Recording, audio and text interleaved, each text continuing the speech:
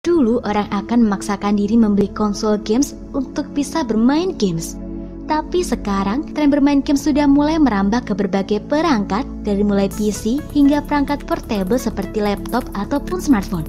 Bahkan saking banyaknya peminat games di perangkat portable, banyak produsen laptop dan smartphone yang menciptakan produk khusus versi gaming. Contohnya banyak dari mulai Asus, Acer, dan berbagai produsen gadget lainnya.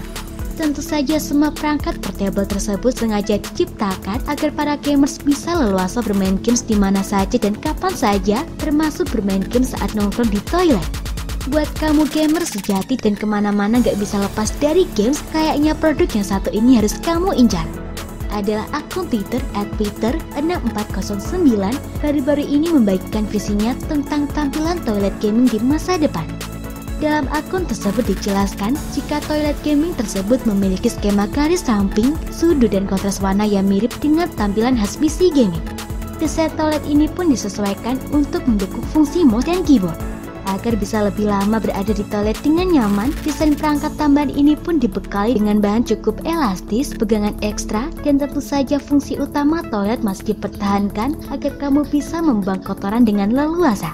Menariknya, tank toilet gaming pun dilengkapi dengan serangkaian hardware mirip PS4 Glacier White yang diikat di bagian depan, headphone dan mikrofon yang tergantung di sisi kiri, dan kabel pengisian daya yang keluar dari PlayStation.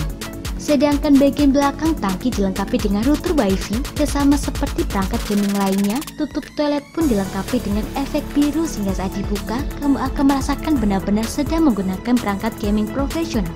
Tentu saja gambaran tersebut masih dalam versi desain awal saja, bukan produk asli yang siap jual. Tapi dengan hadirnya desain ini, bukan tidak mungkin di masa depan nanti akan ada perangkat toilet gaming beneran yang bertujuan untuk memanjakan para gamers. Selain toilet gaming yang sebenarnya masih dalam versi konsep, sebelumnya masih banyak perangkat gaming lainnya diciptakan untuk memaksimalkan sensasi dalam berbagai games, misalnya konsol Dreamcast yang diproduksi Saga. Berbeda dengan perangkat lainnya, Dreamcast sengaja diciptakan untuk mereka yang hobi bermain game memancing sambil merasakan bagaimana sensasi memancing yang sebenarnya. Hal inilah yang membuat Dreamcast dibuat dalam bentuk yang mirip dengan pancingan. Meskipun terlihat sangat menarik, sayangnya Dreamcast tidak terlalu laku di pasaran.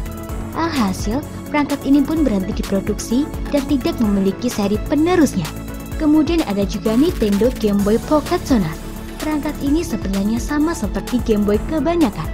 Hanya saja, perangkat yang dirilis tahun 1998 tersebut bisa berubah jadi perangkat sonar yang berfungsi untuk mencari keberadaan ikan oleh para pemancing. Bagaimana menurut Semoga kalian? informasi tersebut dapat bermanfaat. Jangan lupa untuk klik subscribe untuk mengetahui video terbaru dari kami.